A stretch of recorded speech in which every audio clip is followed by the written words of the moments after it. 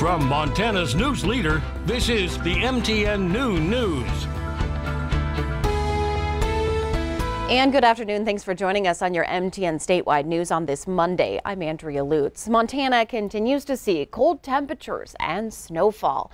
We're going to start in Helena this afternoon where things remain frigid and there's continual snowfall at the state capitol, usually bustling with some sort of activity during the legislature. The grounds of the state capitol were seen today nearly empty. Of course, seeing a lone ground crew member clearing some of that fresh powder from the walkways in a snow sweeping machine. Still a lot to talk about when it comes to the weather. Let's get on over to meteorologist Miller Robson. He has a look outside. It sure is pretty though at the capitol. It is pretty uh, since Friday. Friday through yesterday, you got about six and a half inches of uh, snow and still trying to add to that as we go along today. But it is pretty out there. Now, outside of the snow, we've got to deal with the frigid temperatures. We've got a lot of minus signs on there. Minus right now, 12 right now in Lewistown and Livingston. We're at uh, minus two up there in northeast Montana. A little warmer off to the west and a bit warmer down there in northern Wyoming as well. But check out those wind chills. This is going to be the big thing. We've got wind chills anywhere between 20 or 20 and 40 below all the way through the rest of the week. We could see record high low temperatures and nighttime temperatures break records as well. How long is this big Arctic blast going to last and do we have any warm up on the way? I'll let you know with the main forecast coming up in just a bit. Andrea. All right, thanks, Miller. New at noon, two skiers who were reported missing in Sanders County overnight are now found safe. Sanders County Dispatch says the father taken yesterday out by search and rescue crews the daughter was found by Two Bear Air out of Kalispell. She was taken to a Bonners Ferry, Idaho hospital by ambulance. Sanders County received the report of those two missing skiers near Maclay Creek near Noxon. That all took place on Saturday. A Utah avalanche caught on camera and a miraculous story of survivor. This happening Saturday in the Uinta Mountains, approximately 200 miles east of Salt Lake City. The group of snowmobilers who captured this video were able to escape and dig themselves out of that snow. Sadly, though, another group of four skiers were not able to escape. They died in that massive slide. And a Missoula man is dead after a weekend snowmobile, snowmobile crash near Alberton. Investigators with the Montana Highway Patrol arrived at the scene at 9 p.m. on Saturday. The 45 year old man was driving that snowmobile south of Edith Peak Road. That's two miles north of the Nine Mile Ranger Station. That's when it happened. Turning on a curve, he went off the left side of the road and struck a tree. His name has not yet been released. This afternoon, we're learning more about an avalanche in the Swan Mountain Range that left one snowmobiler dead. Those with the Flathead Avalanche Center say the slide was triggered in the Wounded Buck Creek area. The rider was caught and buried. Three other members of the party were also caught and partially buried. They were able to dig themselves out and they found the man's backpack, but he did not survive. Dangerous avalanche conditions prevented rescuers from reaching the scene until yesterday. Well, police continue to investigate a rash of crashes and pileups on Interstate 90 over the weekend. This all happening in the eastern part of the state. On Sunday, one person seriously injured when five semi trucks, two pickups, piled up six miles west of Park City. One of the semis caught fire. Then traffic was diverted all day from Park City to Columbus. Then on Saturday, another pileup in the same area involving 20 vehicles. In Mineral County, the Department of Criminal Investigations is assisting Mineral County with a deadly shooting. A father is believed to have shot and killed his children. One child, I should say, the other sent to a Spokane hospital. Saturday, Anthony Dasher's mother found her son and his four and seven year old sons shot in a home north of St. Regis. That four year old child was life flighted to a Spokane hospital.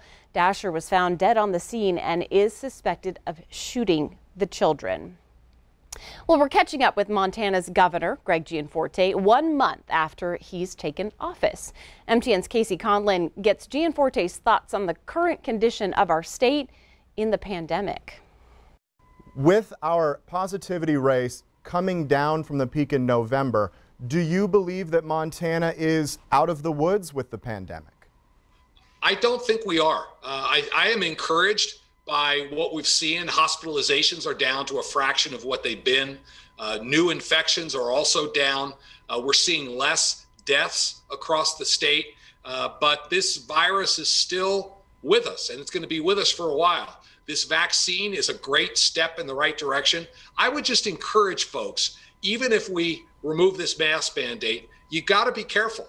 Uh, please continue to practice personal hygiene, social separation as possible. Uh, take the precautions you need to protect yourself and the ones you love.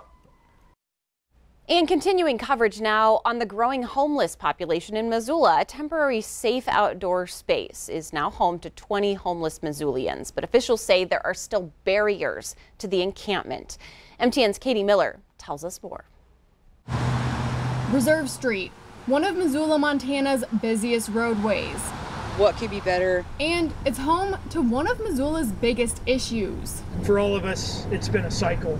Last April, tents lined the river. The trash has accumulated. Efforts are underway to relocate and house the homeless population on the north side of town. But 20 some people are still living under the Reserve Street Bridge. And some say the homeless camp brings trouble. Frustration in the community. When the pandemic hit, county leaders and advocates got together to think of solutions because restrictions lowered capacity limits on shelters. What the pandemic has shown nationwide, worldwide, is, is how fragile a person's existence is and security is. And with colder weather approaching, officials grew concerned.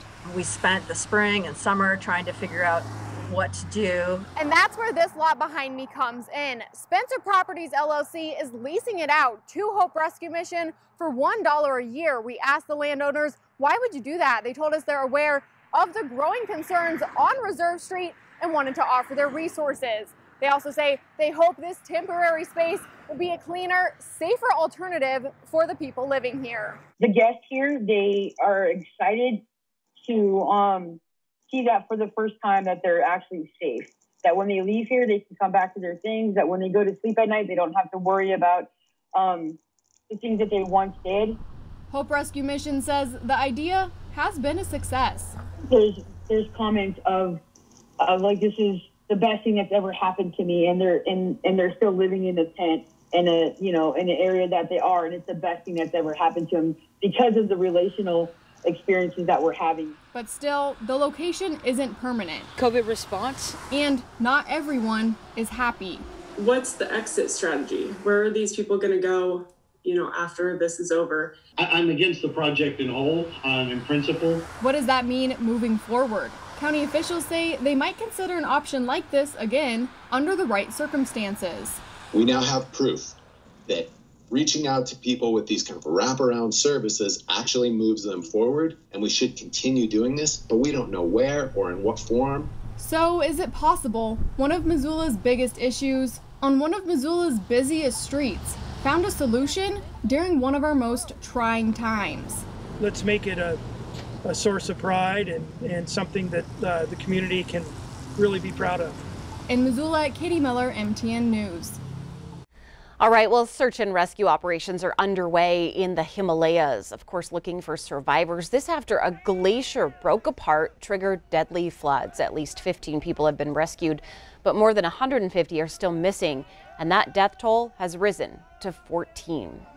And check this out, long decorations in Minneapolis. Residents are taking advantage of those sub-zero highs by setting out wet pants. It even turned into a fundraiser for charity. People plan to donate a dollar for every pair of frozen pants that they see.